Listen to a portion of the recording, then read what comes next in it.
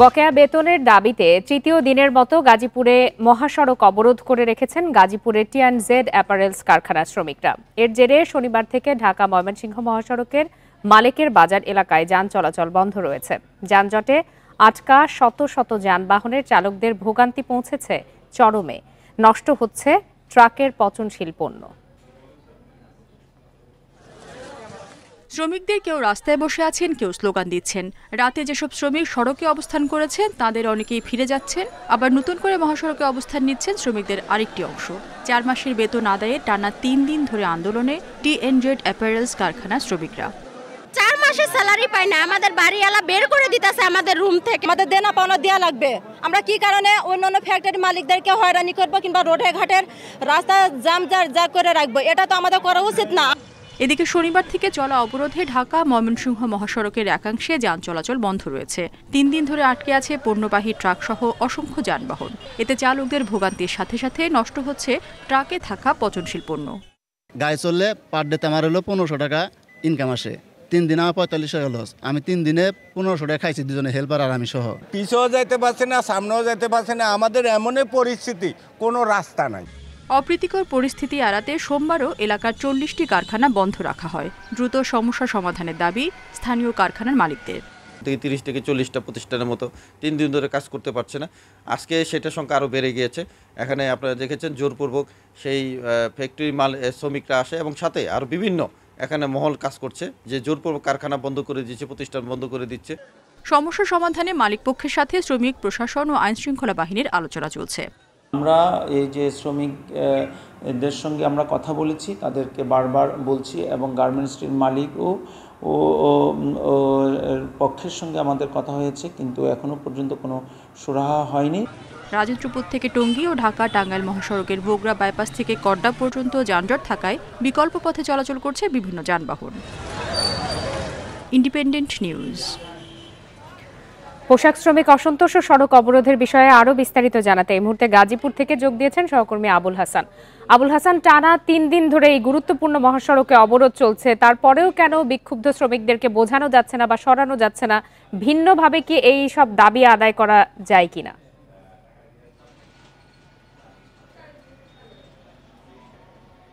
দেখুন, আমরা গত তিন দিন ধরে শ্রমিকদের সঙ্গে কথা বলে যেটি জানতে পেরেছি যে শ্রমিকদের মধ্যে যে আস্থার বিষয়টি, মালিকের সাথে সেই আস্থার একটি সংকট কিন্তু তৈরি হয়েছে। এর কারণ হিসেবে শ্রমিকরা যেটি বলছেন যে তারা এর আগে মালিক পক্ষে বিভিন্ন সময় দিয়েছিলেন, কিন্তু সেই তাদের যে বেতনাদি, সেটি তারা পরিশোধ করেনি ফলে যে আস্থার সংকট, সেই আস্থার সংকটের কারণেই কিন্তু এখন এই মহাসড়কে অবরোধ চলছে গত তিন দিন ধরে এবং এই যে মহাসড়কটি স্থবির হয়ে আছে কোনো ধরনের গাড়ি কিন্তু চলছে না। এবং আপনি নিশ্চয় দেখতে পাচ্ছেন যে ঢাকা টাঙ্গাইল, ঢাকা ময়মনসিংহ মহাসড়ক দুটি সড়কে কিন্তু দীর্ঘ যানজট রয়েছে এবং যে গাড়িগুলো রয়েছে, কোনোটাই কিন্তু কোনো নড়াচড়া করা বা মুভমেন্ট করার কোনো সুযোগ নেই। আমরা কিছুক্ষণ আগে ট্রাফিক বিভাগের একজন কর্মকর্তার সঙ্গে কথা বলছিলাম। তিনি যেটি জানিয়েছেন যে এখানে প্রায়, এই মহাসড়ক, ঢাকা ময়মনসিংহ মহাসড়ক দিয়ে অন্তত চল্লিশ থেকে পঞ্চাশ হাজার গাড়ি চলাচল করে। এবং তিনি বলছেন যে গত তিন দিন ধরে এই গাড়িগুলো চলতে পারছে না এবং যে গাড়িগুলো আছে, বিশেষ করে দূরপাল্লার বাস, ট্রাক এবং লরি, এগুলো কিন্তু গত তিন দিন ধরে এখানে আটকে পড়ে আছে। আমরা চালকদের সঙ্গে কথা বলছিলাম কয়েকজন চালক আমাদেরকে বলছেন যে বিকল্প উপায়ে তাদের যাওয়ার কোনো রাস্তা নেই। কারণ হচ্ছে যেই জায়গায় তারা আটকে আছেন, অনেক অনেকে কিন্তু বিআরটির যে ভোগান্তি তো চরমে, যেটি আমরা গত দুই দিন ধরে বলছি, আজ তৃতীয়তম দিন। যেই কারখানার বিরুদ্ধে এই ধরনের অভিযোগ যে তারা শ্রমিকদের বেতন দিচ্ছেন না, তাদের সাথে আপনার কোনো কথা হয়েছে কিনা, সেই মালিক পক্ষ কি বলছে?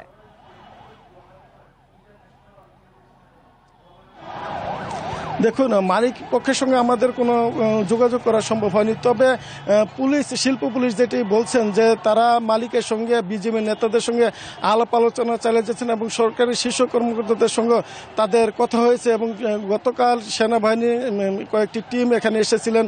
শিল্প পুলিশের ঊর্ধ্বতন কর্মকর্তারা এসেছিলেন এবং তারা কিন্তু এখানে আলাপ আলোচনা করছেন। কিন্তু তারপরও কিন্তু এই বিষয়টি নিয়ে কোনো সমাধান আসেনি। আজকে শিল্প হাইওয়ে ট্রাফিক পুলিশের একজন কর্ম কর্মকর্তা যেটি বলছেন যে তারা আলোচনা চালিয়ে যাচ্ছেন তবে এখন পর্যন্ত কোনো আলোচনার ফল আসেনি। ফলে শ্রমিকরা আমি আবুল হাসান আপনার কাছে জানতে চাই যে যে পরিমাণ পণ্যবাহী যানবাহন আটকে পড়েছে সেখানে এখন পর্যন্ত প্রাথমিকভাবে ক্ষয়ক্ষতি নিরূপণ করা গেছে কিনা? আর আরেকটি বিষয় জানাবেন যে বিকল্প কোনো পথ ব্যবহার করা যাচ্ছে কিনা?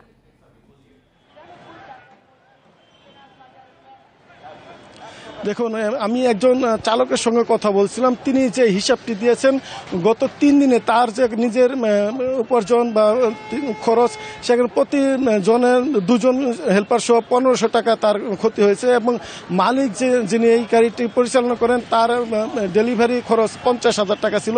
তার মানে তিন দিনে দেড় লাখ টাকা এবং তার ড্রাইভারদের খরচ হচ্ছে ছয় হাজার টাকার মতো।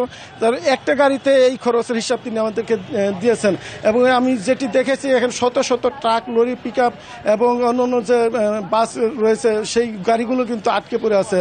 এবং সেই অঙ্কের হিসাবে এখানে শত শত গাড়ি হিসাব করলে কিন্তু অনেক টাকার ক্ষতি পরিবহন হয়েছে বলে প্রাথমিকভাবে ধারণা করা যাচ্ছে। জি আবুল হাসান আপনাকে ধন্যবাদ। যে অরফানেজ ট্রাস্ট দুর্নীতি মামলায় খালেদা জিয়ার দশ বছরের সাজা স্থগিত করে আপিলের অনুমতি দিয়েছে আপিল বিভাগ। সোমবার লিভ টু আপিল মঞ্জুর করে এই আদেশ দেয় জ্যেষ্ঠ বিচারপতি মোহাম্মদ আশফাকুল ইসলামের নেতৃত্বে তিন বিচারপতির বেঞ্চ। যদিও এর আগে বিভিন্ন দলের অনুরোধে গত ছয় আগস্ট খালেদা জিয়ার সাজা মৌকুফ করেন রাষ্ট্রপতি। তারপরও নিজেকে নির্দোষ প্রমাণে এবং আইনি পথে মামলা নিষ্পত্তি করতে আপিল করেন তিনি। আপিল শুনানিতে রবিবার জিয়া অরফানেজ ট্রাস্টের কোনো টাকা আত্মসাৎ হয়নি বলে দেশের সর্বোচ্চ আদালতকে জানান দুদকের আইনজীবী। তবে এই মামলায় পঁচিশ মাস কারাগারে কারাভোগ করেছেন সাবেক প্রধানমন্ত্রী খালেদা জিয়া। দুদক আদালতকে জানায় মামলার নথিপত্র অনুযায়ী ট্রাস্টের দুই কোটি তেত্রিশ লাখ টাকা ট্রান্সফার হয়েছে কিন্তু কেউ তা আত্মসাৎ করেনি। এই মামলার মধ্যে যে সমস্ত ফ্যাক্টগুলো এনেছে তা ইভিডেন্সগুলো এনেছে তা অসত্য তার কারণ তিনি কোনো কোথাও কোনো মাম- এই আত্মসাদের কোনো তার কোনো তার বিরুদ্ধে কোনো অভিযোগ প্রমাণিত হয় নাই। রাজনীতি করানিমূলক প্রতিহিংসামূলক বেগম খালেদা এবং তারেক রহমানকে এই মামলায় সাজা দেওয়া হয়েছে। তারা যেন সেই সময় নির্বাচনে অনুপযুক্ত হয় না করতে পারে। এবং রাজনীতি থেকে তাদের শেষ করে দেওয়ার জন্য সরিয়ে দেওয়ার জন্য এটা সরকারের পরিকল্পনার অংশ হিসেবে ছিল। আজকে পর অর্ডার ছিল আদেশের জন্য। পাসপোর্ট পেতে আর কোনো ভোগান্তি হবে না বলে আশ্বস্ত করেছেন প্রধান উপদেষ্টা ডক্টর মোহাম্মদ ইউনুস। সকালে শাহজালাল আন্তর্জাতিক বিমানবন্দরে প্রবাসী লাউঞ্জ উদ্বোধন অনুষ্ঠানে তিনি এসব কথা বলেন। তিনি বলেন, দেশের জনগণের জন্য কাজ করছে সরকার। প্রবাসীদের আসা যাওয়ার পথে বাড়তি সুবিধা দিতেই বিমানবন্দরে লাউঞ্জ উদ্বোধন করা হয়েছে। ডক্টর ইউনুস বলেন, প্রবাসী কর্মীদের পাঠানো অর্থ শুধু তার পরিবার নয়, দেশের অর্থনীতিতেও বড় অবদান রাখে। এ সময় প্রবাসীদের প্রাপ্য সম্মান ও সব ধরনের সুযোগ দেওয়ার কথা জানান তিনি। সরকারি প্রতিষ্ঠানগুলোকে জনগণের জন্য কাজ করতে হবে উল্লেখ করে প্রধান উপদেষ্টা বলেন, জনগণের প্রাপ্য সেবা সরকার বাড়িতেই পৌঁছে দেবে। এ সময় জুলাই আগস্ট গণজাগরণে গুরুত্বপূর্ণ ভূমিকার জন্য অভিবাসী কর্মীদের প্রতি কৃতজ্ঞতা জানান doctor Muhammad Yunus.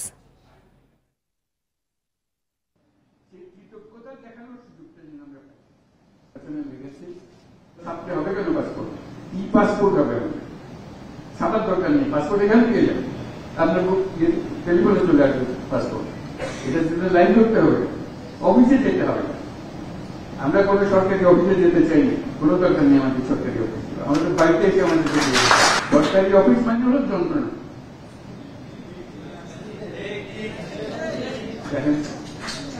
এই যন্ত্রণার মধ্যে আমরা কেন যাব? জাতিসংঘের জলবায়ু সম্মেলনে যোগ দিতে আজারবাইজানের উদ্দেশ্যে রওনা হয়েছেন প্রধান উপদেষ্টা ডক্টর মোহাম্মদ ইউনুস। বেলা এগারোটার দিকে বাংলাদেশ বিমানের একটি ফ্লাইটে ঢাকা ছাড়েন তিনি। কপ টোয়েন্টি নাইন সম্মেলন উপলক্ষে আজারবাইজানের বাকুতে এগারো থেকে চোদ্দ নভেম্বর পর্যন্ত থাকবেন প্রধান উপদেষ্টা।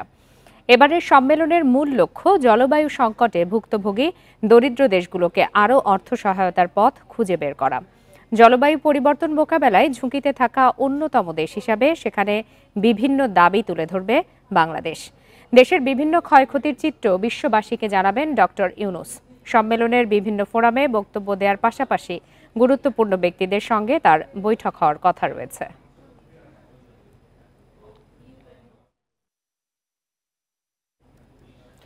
নিত্যপণ্যের বাজারে স্বস্তি ফেরানোই গুরুত্ব দেয়া হবে, জানিয়েছেন বাণিজ্য উপদেষ্টা শেখ বশির উদ্দিন সকালে সচিবালয়ে প্রথম কর্মদিবসে কথা বলেন তিনি। শেখ বশির উদ্দিন জানান, উপদেষ্টা হিসাবে শপথ নেয়ার পর ব্যবসায়ী হিসাবে সব ধরনের কাজ থেকে অব্যাহতি নিয়েছেন তিনি। কোনো রাজনৈতিক দল, কোম্পানি ও আত্মীয় স্বজন কারও প্রতিনিধিত্ব করছেন না তিনি। উপদেষ্টা বলেন, মুদ্রাস্ফীতির প্রভাবে ভোক্তাদের খরচ বেড়েছে, কিন্তু সেই তুলনায় ক্রয় ক্ষমতা বাড়েনি। কোনো মন্ত্রের মাধ্যমে রাতারাতি দ্রব্যমূল্য নিয়ন্ত্রণ করা সম্ভব নয়। বাজার পরিস্থিতি সহনীয় করতে সবাইকে নিয়ে সমন্বিতভাবে কাজ করা হবে বলে উল্লেখ করেন তিনি।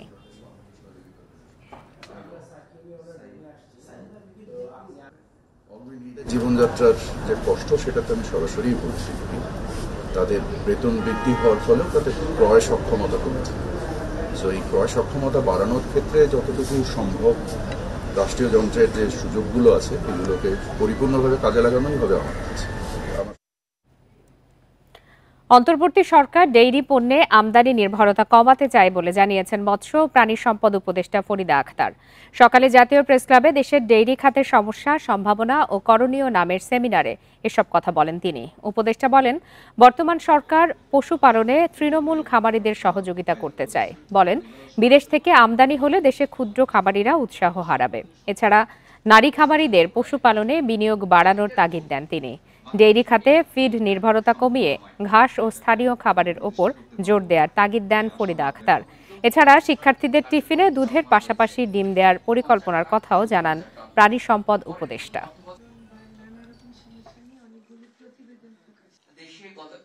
উৎপাদনের যে ঘাটতিটা আছে, সে ঘাটতিটা পূরণ করতে গিয়ে যেভাবে আমদানি নির্ভরতা হচ্ছে, এটাকে আমরা বদলাতে চাই।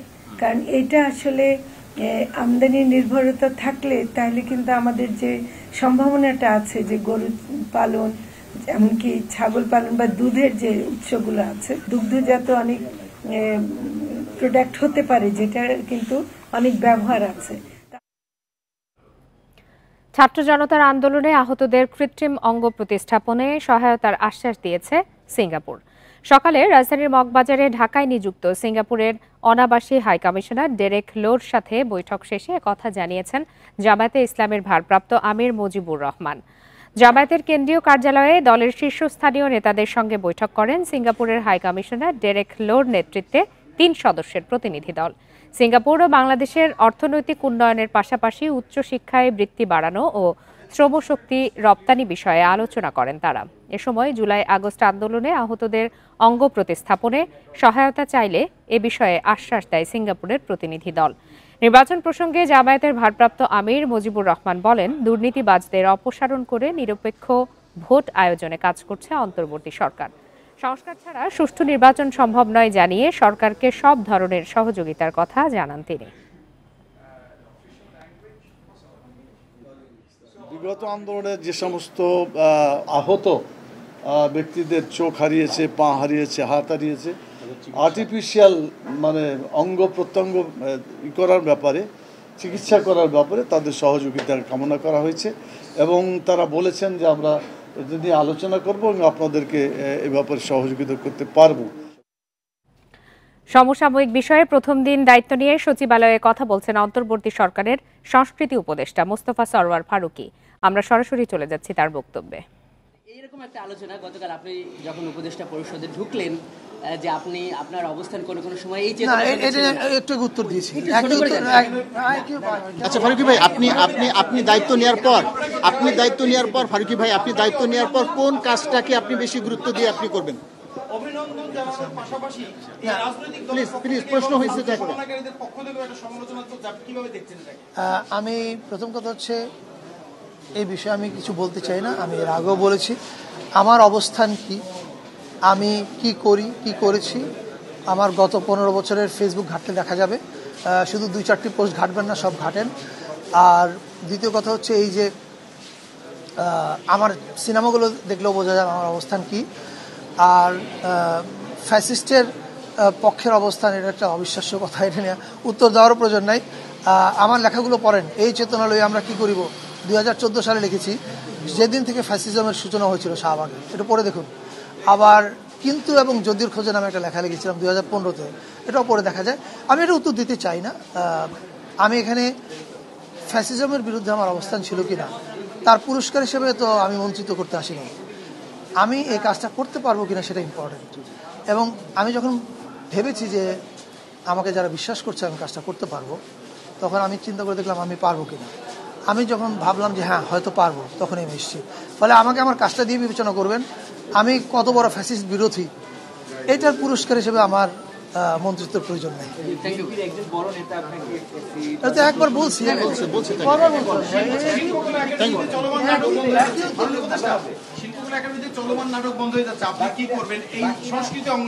একই প্রশ্নের উত্তর আমি একটু আগে দিয়েছি আরেকবার একটু বলেন ভাই আরেকবার এই I'm getting tired, please.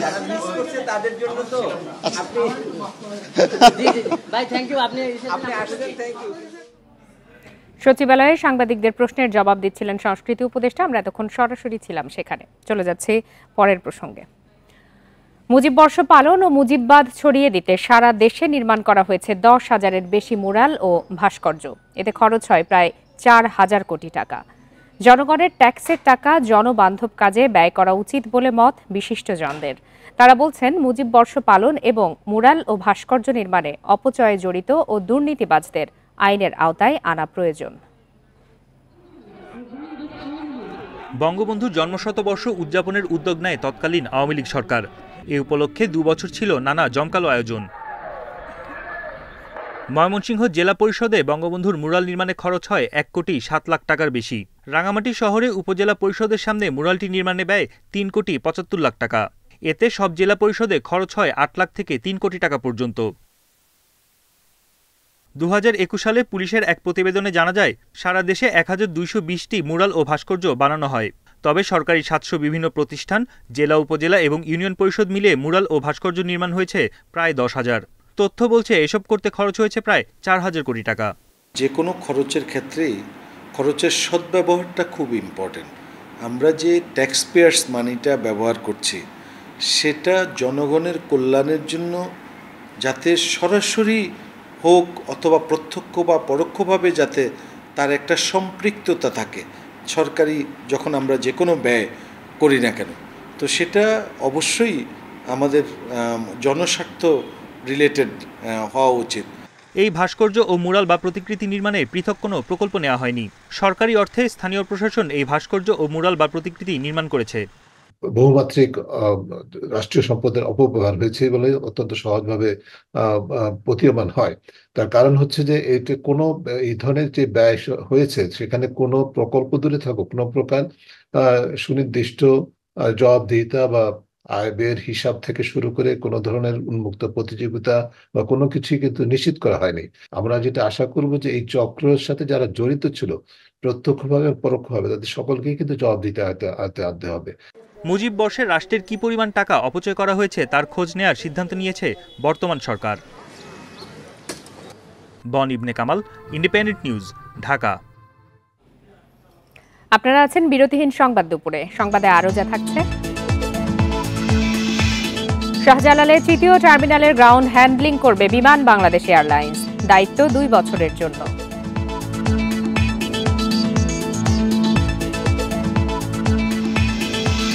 কক্সবাজারের সংরক্ষিত বনে বঙ্গবন্ধু একাডেমির বরাদ্দ বাতিল। বিলুপ্ত সাত প্রজাতির উদ্ভিদ, জানালেন উপদেষ্টা।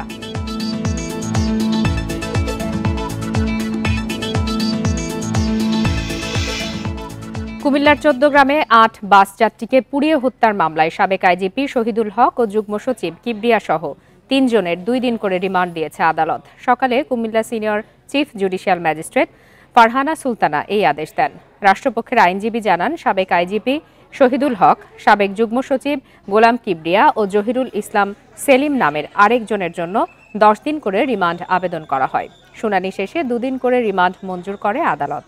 দুই হাজার পনেরো সালের তিন ফেব্রুয়ারি কুমিল্লার চোদ্দ গ্রামে একটি বাসে পেট্রোল বোমা নিক্ষেপের ঘটনায় আটজন নিহত হন। ওই মামলায় বিএনপি চেয়ারপারসন বেগম খালেদা জিয়া সহ চৌষট্টি জনের নাম উল্লেখ করে মামলা করে পুলিশ। তবে এবছরের এগারো সেপ্টেম্বর এ ঘটনায় পাল্টা মামলা করেন বাসের তত্ত্বাবধায়ক আবুল খায়ের।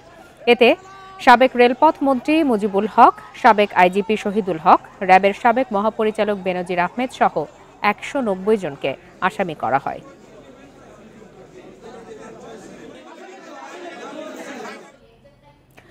হজরত শাহজালাল আন্তর্জাতিক বিমানবন্দরের তৃতীয় টার্মিনালের গ্রাউন্ড হ্যান্ডলিং এর দায়িত্ব পেল বিমান বাংলাদেশ এয়ারলাইন্স। সকালে ইন্ডিপেন্ডেন্ট টেলিভিশনকে কথা জানিয়েছেন বেসরকারি বিমান চলাচল কর্তৃপক্ষ Bebichak chairman.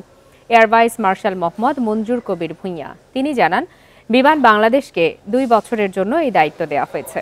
এ সময়ের মধ্যে সক্ষমতার প্রমাণ দিতে না পারলে যৌথ দায়িত্ব দেওয়া হবে বলেও জানান তিনি। এদিকে গ্রাউন্ড হ্যান্ডলিং এর জন্য কেনাকাটা ও জনবল নিয়োগ সহ সব ধরনের প্রস্তুতি নিচ্ছে বিমান কর্তৃপক্ষ। বর্তমানে নিজস্ব ফ্লাইটের পাশাপাশি দেশের সব আন্তর্জাতিক বিমানবন্দরে গ্রাউন্ড হ্যান্ডলিং এর দায়িত্বে রয়েছে বিমান। এ থেকে বার্ষিক আয় হয় প্রায় এক হাজার থেকে বারোশো কোটি টাকা। হজরত শাহজালাল আন্তর্জাতিক বিমানবন্দরের তৃতীয় টার্মিনালের প্রায় আটানব্বই শতাংশ কাজ শেষ হয়েছে। তবে অক্টোবরে এই টার্মিনাল চালু করা সম্ভব হবে না বলে জানিয়েছে কর্তৃপক্ষ।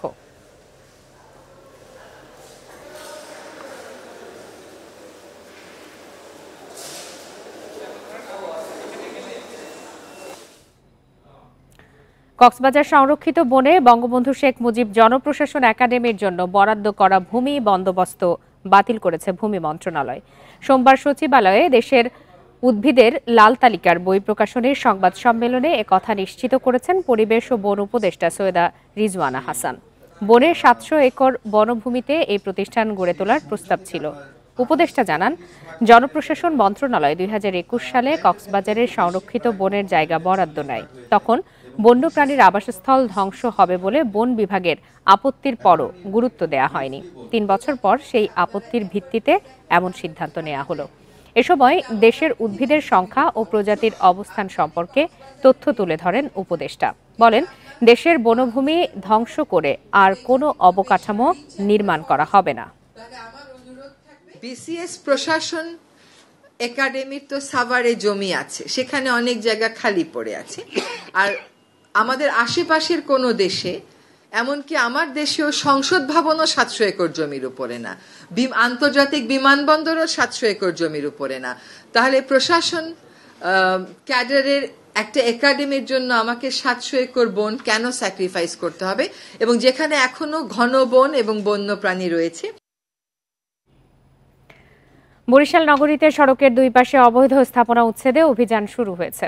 সকালে নগরীর রূপাতলি জিরো পয়েন্ট এলাকা থেকে সাগরদীর পুল পর্যন্ত এই অভিযান চালায় সড়ক বিভাগ।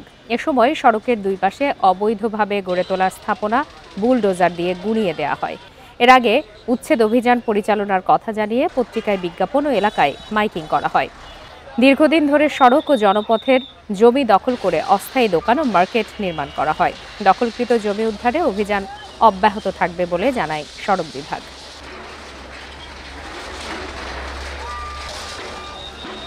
বরিশাল শহর বিভাগের যে অবৈধ স্থাপনাগুলো আছে সেগুলো শুরু হয়েছে। পর্যায়ক্রমে আরও হবে। ইনশাল্লাহ আমরা আপনার ভবিষ্যতে আরও দেখতে পারবেন যে যে অবৈধ স্থাপনাগুলো আছে সেগুলো আমরা অচিরেই অভিযান করে ফেলব। আধুনিক ও যুগ উপযোগী প্রশিক্ষণের মাধ্যমে দক্ষতা অর্জন করে কঠিন চ্যালেঞ্জ মোকাবেলায় প্রস্তুত থাকার জন্য আর্টিলারি রেজিমেন্টের সদস্যদের প্রতি আহ্বান জানিয়েছেন সেনাপ্রধান জেনারেল ওয়াকারুজ্জামান। সকালে চট্টগ্রামের হালি শহরে আর্টিলারি সেন্টার ও স্কুলে অনুষ্ঠিত সেনাবাহিনীর রেজিমেন্ট অব আর্টিলারির তেতাল্লিশতম বাৎসরিক অধিনায়ক সম্মেলনে এই আহ্বান জানান তিনি। আর্টিলারি রেজিমেন্টের প্রতিটি সদস্য দেশ সেবার অনন্য দৃষ্টান্ত স্থাপন করবে বলেও উল্লেখ করেন সেনাপ্রধান এছাড়া প্রথমবারের মতো স্বতন্ত্রভাবে সেনাবাহিনীতে যাত্রা শুরু করেছে আর্মি এয়ার ডিফেন্স কোর। এতে একজন ইউনিট অধিনায়ক, একজন মহিলা অফিসার, জ্যেষ্ঠ মাস্টার ওয়ারেন্ট অফিসার এবং একজন সৈনিককে শোল্ডার টাইটেল ও ক্যাব ব্যাজ দেন সেনাপ্রধান জেনারেল ওয়াকারুজ্জামান।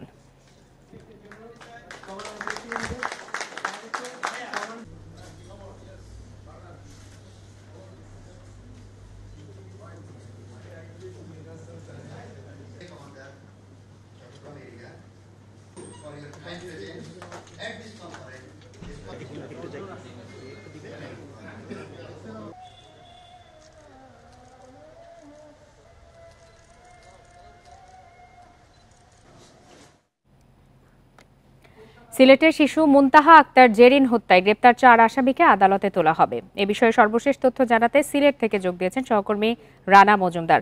রানা মজুমদার, যেই চার আসামিকে আদালতে তোলার কথা রয়েছে, তাদেরকে কি আদালতে তোলা হয়েছে কিনা সর্বশেষ কি তথ্য রয়েছে আপনার কাছে?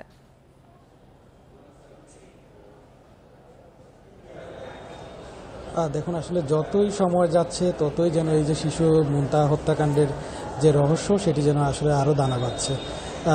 বেলা একটার দিকে মূলত এই চারজন আসামিকে কানাইঘাট থেকে কিন্তু সিলেটের এখানে আদালতে নিয়ে আসা হয় এবং তাদেরকে বর্তমানে কিন্তু সিলেটের যে কোর্স কোর্ট ইন্সপেক্টরের যে রুমটি রয়েছে সেখানেই তাদেরকে রাখা হয়েছে। এবং বিভিন্ন মাধ্যম থেকে এবং বিভিন্ন সূত্র থেকে আমরা যে খবরটি পাচ্ছি, সেটি হলো তাদেরকে আদালতে তোলার ব্যাপারে যে ধরনের আসলে প্রস্তুতি নেওয়া প্রয়োজন, যে ধরনের কাগজপত্র, যে ধরনের ডকুমেন্টস রেডি করা প্রয়োজন, সেগুলো কিন্তু এখন প্রক্রিয়াধীন রয়েছে। পাশাপাশি আরেকটি সূত্র থেকে আমরা যে খবরটি পেয়েছি, সেটি হলো যে সরকারের যে ঊর্ধ্বতন কর্তৃপক্ষ উপদেষ্টা পরিষদ কারোর সাথে একটু যোগাযোগ করার চেষ্টা করা হচ্ছে এই ব্যাপারটি নিয়ে। এবং সর্বশেষ যে তথ্যটি হচ্ছে এই ব্যাপারটি নিয়ে এবং সর্বশেষ যে তথ্যটি হচ্ছে সেটি হলো তাদেরকে হয়তো আদালতে তোলা হতে পারে। সেটি হচ্ছে জুডিশিয়াল ম্যাজিস্ট্রেট আমলি আদালত নং পাঁচ কানাইঘাট। এই আদালতে তোলার পরে হয়তো যিনি মামলার আইও হিসাবে দায়িত্ব পালন করছেন শামসুল আরেফিন তো সেই জায়গা থেকে আসলে বলা যায় যে বিস্তারিত তথ্যের জন্য। তো সেই জায়গা থেকে আসলে বলা যায় যে কোর্ট থেকে যখন আদালত থেকে যদি আসলে রিমান্ড মঞ্জুর করা হয় তখন হয়তো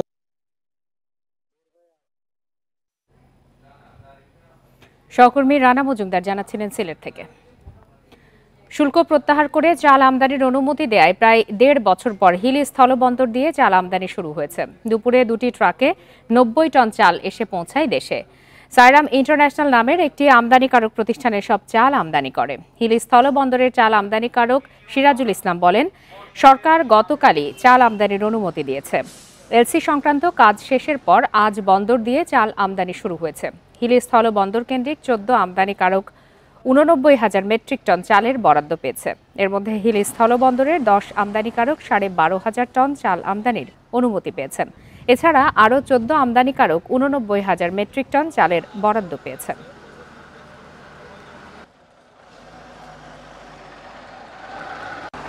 সরকার চালের অনুমতি দিয়েছে। এই অনুমতির পরিপ্রেক্ষিতে আমরা আমদানিকারকরা আবেদন করেছিলাম চাল চাল ঢোকানোর জন্য। আমরা আইপি করেছি। আজকে অলরেডি চাল ঢোকা শুরু হয়ে গেছে। আগামী থেকে আবার আরও পর্যাপ্ত চাল ঢুকবে। এই চাল ঢুকলে সরকার যে টার্গেট নিয়েছে সেই সরকারের টার্গেট পূরণ হবে। আর এরই সাথে শেষ করছি আজকের বিরতিহীন সংবাদ দুপুর। ইন্ডিপেন্ডেন্ট টেলিভিশনের সব খবরের আরও বিস্তারিত জানতে চোখ রাখুন ফেসবুক ইউটিউব আর এক্সে ধন্যবাদ এতক্ষণ সাথে থাকার জন্য।